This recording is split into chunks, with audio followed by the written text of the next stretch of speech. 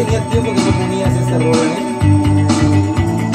Hola, ¿cómo se encuentra mi gran afición azul? Espero que se encuentren muy bien. Bueno, brothers de corazón azul, aunque ya haya estado muy sonado este tema del que vamos a hablar, pero eh, hoy ya lo hicieron oficial. Y lo comento porque la verdad ha habido mucho humo, mucha información que no ha sido eh, respaldada o oficializada por nuestro equipo Cruz Azul. ¿Por qué? No lo sabemos. Ahora sí, nos estamos enterando esta gran afición que somos nosotros y ustedes eh, por medios de comunicaciones deportivo, por las redes, qué es verdad o qué es mentira. Nuestro equipo Cruz Azul no ha hecho el favor de salir a dar declaraciones de la preparación para la clausura 2020 en fichajes, en ventas, en la formación del equipo que va a tener para la siguiente temporada, la estrategia, el plan, el estilo de equipo. Nada de eso, señores, se ha oficializado. Bueno, según agenda que traían, van atrasados. No han presentado el director deportivo, no han dado oficial la lista de transferibles ni de fichajes altas, como nada, señores, nada. Estamos eh, a lo que dicen en el mercado, a lo que se oye eh, en el lavadero, así estamos eh, todo el mundo.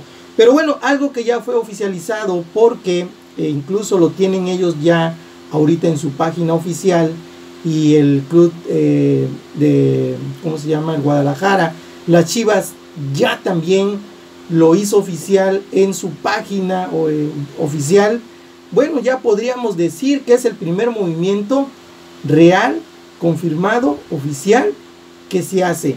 Y es el de José Madueña, de este lateral derecho que, eh, bueno, no fue mucho del agrado de Siboldi, fue como que una pieza la cual la contempló mucho Caiciña, se lesiona, se recupera, eh, en la era Siboldi no es tomado en cuenta. Pero bueno, este jugador, bueno, al ver la situación de que no era de la gente que tal vez consideraba Siboldi como que lo podía apoyar, pues decide negociar su salida con nuestro equipo Cruz Azul y se le da, se le dio oficialmente él, fíjense, a él lo vimos por ahí de lunes en el aeropuerto, por cierto, acompañado, no sé si es su novia su esposa, una joven muy bonita, muy guapa. Eh, se le vio llegar a Guadalajara. Ayer se le hicieron los, los análisis médicos y hoy hace un par de horas ya fue confirmado oficialmente en el Club Deportivo de Guadalajara como eh, su, un fichaje más que está teniendo este equipo de Chivas. Fíjense cómo son las cosas, ¿no? Cuando tú tienes gente profesional gente que está acostumbrada a trabajar bajo objetivos, que no necesitas estarlo arriando y que tienen fija una meta, un objetivo que es llevarse el campeonato, ves luego, luego el trabajo. Y me refiero a Ricardo Peláez. Eh, Guadalajara, como tal vez Pachuca, Tijuana, Cruz Azul, Pumas, que están más o menos en, en esa situación, en esta apertura 2019, no se, ha, no, se ha escuchado tanto los movimientos que han hecho o de qué manera se están preparando para la clausura 2020 como se vio con Chivas, nada más llegó Ricardo Peláez. Luego, luego empezó a hacer su proyecto, su plan de, de, jugadores que iban a salir, que iban a llegar, quienes querían que se comprara. Pero lo sorprendente, señores, que en el torneo este 2019, donde la familia Vergara se se portó muy conservador en gastos, ahorita le abrieron la cartera, la chequera Peláez y está armando el equipo que él quiere. Obviamente me imagino que respaldado por un plan de trabajo, por un proyecto que la de haber presentado al joven Amauri, le ha de haber dicho, mire señor, esto es lo que yo estoy planeando con estos jugadores y el resultado va a ser este. Entonces, eh, pues una persona que te inspira confianza en tu negocio, en tu trabajo, en tu proyecto, pues le apuestas, ¿no? Ya no te, ya no, ya no te portas conservador porque sabes que van a haber resultados, sabes que van a haber este, buenos triunfos o buenas cosechas y le apuestas.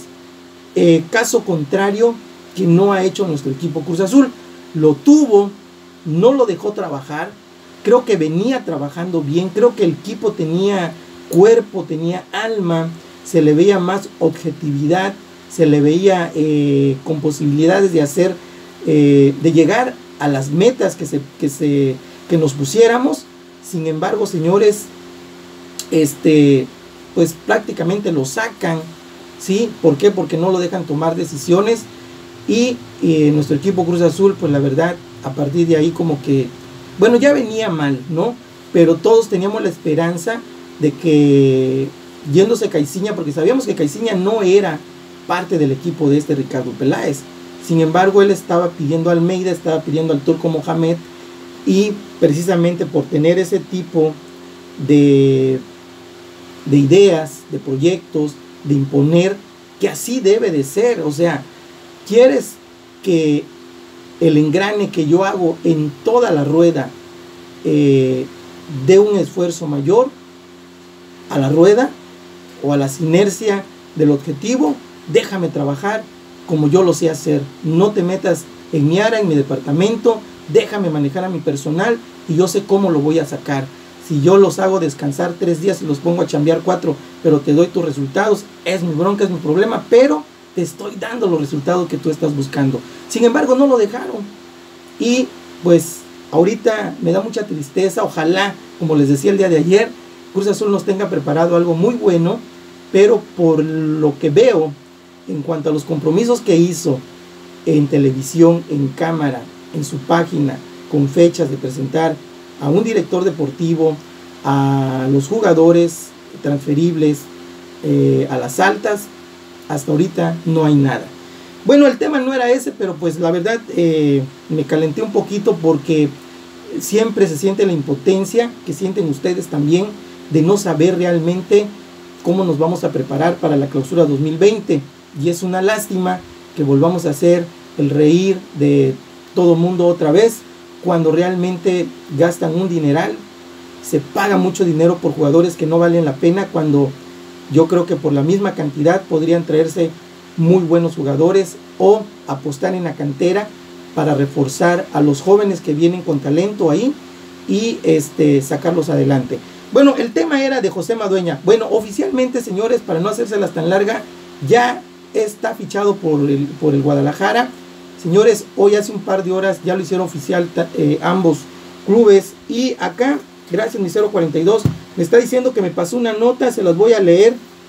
Dice, hoy fue presentado como nuevo fichaje del rebaño José Madueña, oficial con letras negras y grandes. José Madueña es la primera baja de Cruz Azul y llega a Chivas. Dos años en Cruz Azul, 50 partidos jugados, dos goles, un autogol y varias alegrías José Madueña era el lateral derecho de la máquina y a pesar de las lesiones y de ser relegado en la banca en varias ocasiones eh, por Roberto Dante Siboldi, a pesar de todo era el favorito de Pedro Caiciña. Sin embargo, cuando llegó Dante eh, Siboldi, no volvió más a ser considerado, sumó apenas 15 minutos y pidió a la directiva que lo dejaran salir esto antes de la clausura 2020 para poderse colocar en un buen equipo y poder jugar. Las Chivas de Guadalajara, dirigidos deportivamente por Ricardo Peláez, le hicieron una buena oferta a José Madueña, que tenía contrato hasta fines del 2020 y rescindió su contrato con Cruz Azul. Y hay una nota ahí con letras negras, dice, Madueña Chivas, Cruz Azul carece de laterales y vende a los que tiene no hay director deportivo y el equipo anuncia bajas. Espero que pronto tengamos humo blanco sobre el proyecto deportivo y de refuerzos. bueno, aquí está, señores, la información que nos están mandando este sobre José Madueña. Así está, señores, el, el lástima de que no tengamos un director deportivo, una pieza importante, señores, para la toma de decisiones de los jugadores que vas a traer, de los que vas a dejar ir. Es una pieza importante para eh, armar el equipo a futuro y eso sería para la clausura 2020. No sé cómo lo está haciendo ya Cruz Azul sin tener este departamento, esta personalidad que con este detalle nos hacen eh, demostrar que realmente eh, la función de un director deportivo en Cruz Azul no es la que debe de ser. Qué lástima porque pues ojalá esto no vaya a perjudicar también para la clausura 2020. Bueno, brothers, voy a mandar saludos para banda de color azul que han estado apoyando nuestro equipo Cruz Azul. Y voy a mandar, señores, saludos para Lucas L., para Antonio Farfán, para Luis Escobar, para Mireya Osorio, una brother. Eh, la verdad, Mireya, a mí me gustaría que me escribieras a mi email. Este, veo que conoces mucho de fútbol. No sé si trabajas para el fútbol o estás en el medio o si quieres ponerlo en tus comentarios. Me gustan tus opiniones, tus comentarios. Eres muy objetiva. Se ve que conoces. Voy a esperar tu mensaje. También voy a mandar saludos para Mauricio Corona, para nuestra brother de corazón azul, señores, que la tiene Diosito allá al lado de ella. Se fue antes, lamentablemente, por un eh, mal incidente que tuvo en la Ciudad de México. Ella ya no está aquí físicamente con nosotros. Nuestra brother Rosa María Cabrera Soto, quien la manda a saludar con mucho cariño, su hija Fátima Elizabeth y Jorge Gutiérrez Cabrera. Le mandamos eh, un gran abrazo a esta familia a nuestra brother Rosa María Cabrera Soto, donde quiera que te encuentres. Sabemos que nos cuidas a todos, que estás alentando también a nuestro equipo Cruz Azul. Estas rolas que te estamos poniendo de Caifanes, eh, sabemos que son para ti, son tuyas. Por eso te las estamos dedicando. Bueno, y por último, señores, un saludo para nuestro brother de Corazón Azul, Aarón Álvarez. Todos ellos, brothers de Corazón Azul, que siempre han estado apoyando a nuestro equipo Cruz Azul. Bueno, brother, voy a esperar tu comentario, tu opinión referente a ya los movimientos que se están haciendo en nuestro equipo Cruz Azul sin tener un director deportivo.